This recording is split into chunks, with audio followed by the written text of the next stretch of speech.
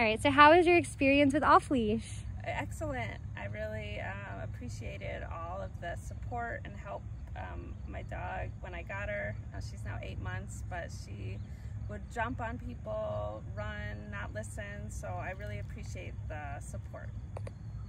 Wow, what an amazing transformation. Hey there, everybody. My name is Alex Dinan, and I'm the head trainer at Off Leash Canine Milwaukee and Madison.